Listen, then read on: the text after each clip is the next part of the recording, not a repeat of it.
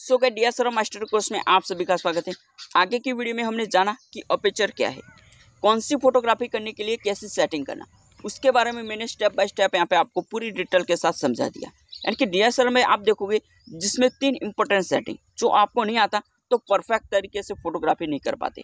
जिसमें first number पे है अपेचर दूसरे नंबर पे शटर स्पीड और तीसरे नंबर पे है आई यानी कि ये तीन सेटिंग आपको नहीं आता, इन तीनों को किस तरीके से सेटिंग करना, वो आपको नहीं आता तो आप बढ़िया फोटोग्राफी नहीं कर पाते और आप जो भी आपके पास डी हो, वो चाहे निकॉन का हो, वो चाहे कैनन का हो, वो चाहे सोनी का हो, यानी कि किसी भी डी हो या तो कोई भी ऐसा लेंस हो, लेकिन आप सही तरीके से फोटोग्राफी नहीं कर पाते। तो इस वीडियो में मैं बताने वाला हूँ यानी कि शटर स्पीड क्या है, किस तरीके से आपको कौन सी फोटोग्राफी करने के लिए शटर स्पीड कैसे सेटिंग करना उसके बारे में मैं पूरी डिटेल के साथ स्टेप बाय स्टेप समझाने वाला तो देखते रहे पूरी वीडियो। और अभी तक यहाँ पे मेरे चैनल को आपने सब्सक्राइब नहीं किया तो तुरंत से जाके सब्सक्राइब कर दीजिए। तो गाइड फ़र्स्ट हम ये समझते हैं कि शटर स्पीड क्या है। यानी कि नाम सुनते ही आपको पता चलना चाहिए कि शटर स्पीड नाम कैसा है। जिसमें आप डी में देखोगे, जिसमें हमारा शटर आता है, वो किस तरीके से काम करता है, यानी कि कितने स्पीड पे काम करता है, उसके बारे में मैं बताता हूँ। जिसमें यहाँ पे मैं डायरेक्टली यहाँ पे आपको पॉइंट समझा देता हूँ, यानी कि आप किसी भी फोटोग्राफी करते हो, जिसमें कितने सेकंड में फोटोग्राफी होती है, उसको हम कहते हैं शटर स्पीड वो कितने सेकंड में ऑन होता है, कितने सेकंड में ऑफ़ होता है। उसको हम कहते हैं शटर और यहाँ पे कितने स्पीड पे यहाँ पे वो चलता है? जो भी हम फोटोग्राफी करते हैं वो कितने स्पीड में फोटोग्राफी होती है? उसको हम कहते हैं शटर स्पीड तो गाइज़ आप अपने डी में one by one twenty five shutter speed setting कर ली। उसमें आप देखोगे, यानी कि एक सेकंड का वन ट्वेंटी फाइव हिस्सा, यानी कि एक सेकंड से भी कम। इस तरीके से आप फोटोग्राफी करते हो तो उतने सेकंड में यहाँ पे आपकी फ़ोटो क्लिक होती उसको हम कहते हैं शटर स्पीड सेटिंग जिसमें यहाँ पे आप देखोगे, यानी कि आप अपेचर सेट करते हो, मान लो कि आपने अपेचर सेट कर लिया 5.5 इस तरीके से यहाँ पे आपने अपेचर सेट कर लिया। तो गाइज़ यहाँ पे आपने one by one twenty five इस तरीके से यहाँ पे आपने शटर स्पीड सेटिंग कर ली, या तो वन बाई वन फिफ्टी इस तरीके से यहाँ पे आपने शटर स्पीड सेटिंग कर ली। इसके बाद यहाँ पे आई देखोगे, जिसमें आप ढाई सौ भी रख सकते, दो सौ भी रख सकते, तीन सौ भी रख सकते, इस तरीके से यहाँ पे आपने आई सेट कर लिया। यानी कि तीनों सेटिंग आपने कर ली। और यहाँ पे आप फोटोग्राफी करते हो, जिसमें यहाँ पे बढ़िया फोटोग्राफी आती है तो उसको हम कहते हैं एक कॉम्बिनेशन यानी कि तीनों पॉइंट पे आप देखोगे, जिसमें यहाँ पे I S O aperture shutter speed वो तीनों कंप्लीट सेट हो जाता है, तब जाके हमारी जो भी पिक्चर है, वो यहाँ पे अच्छी आती है. तो उसको हम कहते हैं सेटिंग मान लो कि यहाँ पे आपने अपेचर को यहाँ पे बढ़ा दिया और यहाँ पे जो भी शटर स्पीड है, उसको यहाँ पे आपने कम कर लिया.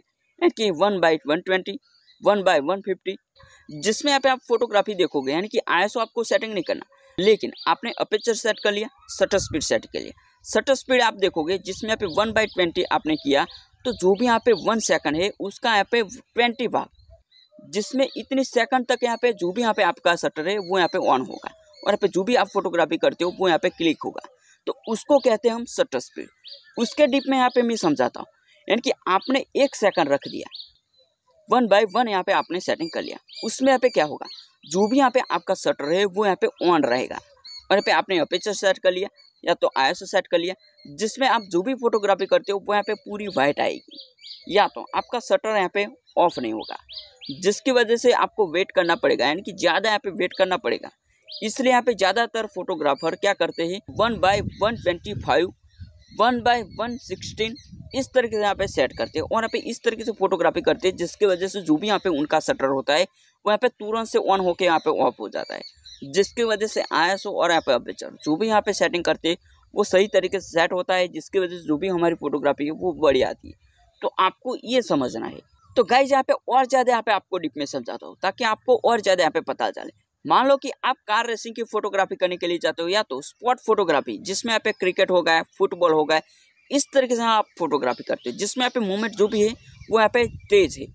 उस तरीके से आप फोटोग्राफी करने के लिए जाते हो, जिसमें यहाँ पे आपका शटर स्पीड सेटिंग होता है, वो आपको रखना है one by two fifty one by two eighty five one by two eighty nine इस तरीके से यहाँ पे आपको रखना है। जिसकी वजह से जो भी यहाँ पे आपकी क्लिक थ्रू यानी कि जो भी आप फोटोग्राफी करते हो, उसमें यहाँ पे आप क्लिक करते हो, जिसमें जो भी आपका शटर है, वो यहाँ पे तुरंत से ऑन होके ऑफ़ हो जाएगा। जिसकी वजह से जो भी यहाँ पे आपकी फ़ोटो है, वो सेकंड में यहाँ पे आपकी फ़ोटोग्राफी होगी। उसके साथ यहाँ पे आपको अपेचर भी सेट करना होगा। इसी तरीके से यहाँ पे आपको आईएसओ भी सेटिंग करना होगा। तब जाके आपकी जो भी पिक्चर है, जो भी आप फोटोग्राफी करते हो, वो बढ़िया आती है। मान लो कि आप कार रेसिंग की फोटोग्राफी करने के लिए जाते हो, जिसमें ज़्यादातर धूप है। या तो आप नाइट में फोटोग्राफी करते हो, जिसमें यहाँ पे ज़्यादातर लाइट है तो उसमें आपको किस तरीके से सेटिंग करना और यहाँ पे मूवमेंट भी ज़्यादा है तो वो आपको सेटिंग कैसी करनी तो उसके बारे में मैं डीप में समझाता हूँ। तो आप कार रेसिंग की फोटोग्राफी करने के लिए जाते हो, जिसमें जो भी आपका अपेचर है, उसको आपको बढ़ाना होगा। तो आपका अपेचर जो भी है, उसका नंबर यहाँ पे आपको बढ़ाना होगा, जिसमें यहाँ पे टेन हो गए ट्वेल्व हो गए फिफ्टीन हो गए, इस तरीके से यहाँ पे आपको सेटिंग रखना है। इसके बाद यहाँ पे जो भी आपकी शटर स्पीड है उसको भी यहाँ पे आपको क्या करना होगा? बढ़ाना होगा। जिसमें यहाँ पे one by two fifty, one by two eighty nine, one by seventy five, one by two seventy five, या तो इस तरीके से यहाँ पे आपका जो भी शटर स्पीड है, उसको भी यहाँ पे आपको बढ़ाना होगा। और आई जो भी है, उसको आपको कम करना होगा। जिसकी वजह से जो भी आपकी फ़ोटोग्राफी है, वो सही तरीके से आती है। तो आपको इस तरीके से सेटिंग करना और यहाँ पे आपका जो भी यहाँ पे फोटोग्राफी करने के लिए जाते हो जिसमें यहाँ पे लाइट कम है तो आपका अपिचर जो भी है वो यहाँ पे आपको कम कर देना इसके बाद यहाँ पे शटर स्पीड है उसको यहाँ पे आपको रखना है one by one twenty five या तो वन बाय वन सिक्सटीन इस तरीके से यहाँ पे आपका अपेचर और यहाँ पे शटर स्पीड सेटिंग करना है इसके बाद यहाँ पे आई जो भी है वो यहाँ पे आपकी लाइटिंग जैसी है उस तरीके से यहाँ पे आपको सेट करना है ताकि आपकी जो भी पिक्चर क्वालिटी है वो सही तरीके से आए तो गाइज़ यहाँ पे आपका शटर स्पीड वो है यानी कि जो भी आप फोटोग्राफी करते हो उसकी मूवमेंट यहाँ पे ज़्यादा है तब आपकी जो भी शटर स्पीड है उसको यहाँ पे आपको बढ़ाना है और यहाँ पे जो भी यहाँ पे आपकी मूवमेंट है वो यहाँ पे स्थिर है तब आपकी जो भी यहाँ पे शटर स्पीड है उसको यहाँ पे आपको कम कर देना ताकि जो भी यहाँ पे आपकी शटर है वो यहाँ पे तुरंत ऑन होती है और यहाँ पे ऑफ़ होती है तो गाइज़ यहाँ पे आप जो भी शटर स्पीड सेट करते हो वो आपके मूवमेंट के आधार पर यहाँ पे सेट होता है यानी कि ज़्यादा मूवमेंट है तो जो भी आपका शटर स्पीड है उसका नंबर आपको बढ़ाना होगा और यहाँ पे आपका जो भी यहाँ पे शटर स्पीड है वो यहाँ पे आप कम कर लेते हो और यहाँ पे मूवमेंट जो भी है वो यहाँ पे ज़्यादा है यानी कि फास्ट है मान लो कि आप कार रेसिंग की फोटोग्राफी करने के लिए जाते हो जिसमें यहाँ पे कार बहुत ही फास्ट चल रही है और आपको सेट करना है शटर स्पीड जिसमें यहाँ पे आप शटर स्पीड सेट करते हो one by one twenty five इस तरीके से यहाँ पे आपने शटर स्पीड सेटिंग कर लिया और आप जैसे ही फोटोग्राफी करोगे जैसे ही आप क्लिक करोगे और यहाँ पे आपका शटर ऑन होके ऑफ़ हो जाएगा लेकिन जो भी आप फोटोग्राफी करते हो वो यहाँ पे ब्लर होगी या तो धुंधली सी हो जाएगी या तो अच्छी नहीं आएगी। क्यों नहीं आएगी? क्योंकि आपका जो भी शटर स्पीड है, उसका जो भी आपने सेटिंग किया है, वो यहाँ पे ज़्यादा है। यानी कि शटर ज़्यादा खुला रहने की वजह से जो भी आप फोटोग्राफी करते हो, वो यहाँ पे धुंधली आती है। इसलिए आपको किस तरीके से सेटिंग करना होगा? जो भी आपका शटर स्पीड है, वो one by two twenty five two twenty five या तो टू एटी नाइन इस तरीके से यहाँ पे आपको सेटिंग करना है। ताकि जो भी आप क्लिक करते हो, वो यहाँ पे एकदम फास्ट होगा। जैसे ही फास्ट होगा, जैसे ही कार गुजरेगी तो तुरंत से वो कैप्चर कर लेगा। तो इस तरीके से आपको सेटिंग करना होगा। तब जाके आप बढ़िया फोटोग्राफी करोगे। जो भी आप फोटोग्राफी करने के लिए जाते हो, जिसमें आप आउटडोर हो इंडोर हो, या तो पर्सनल प्रोफेशनल या तो कोई भी आप फोटोग्राफी करने के लिए जाते हो, जिसमें यहाँ पे आई सेट करते हो अपेचर सेट करते हो शटर स्पीड सेट करते हो, या तो आप डीएसएलआर हाथ में पकड़ते हो, लेकिन जब तक आप प्रैक्टिस नहीं करते, तब तक आपको कुछ भी नहीं आएगा। यानी कि आपको मैनुअल सेटिंग नहीं आएगा। यानी कि आपको अलग अलग जगह पे अलग अलग फोटोग्राफी करना हो और यहाँ पे जो भी सेटिंग करते हो, वो भी यहाँ पे अलग अलग करनी, ताकि आपको पता चले कि आई कितना रखना है अपेचर कितना रखना है शटर स्पीड कितना रखना है। वो सब यहाँ पे आप जब तक प्रैक्टिस नहीं करोगे, तब तक यहाँ पे आपको कुछ भी नहीं पता चलेगा।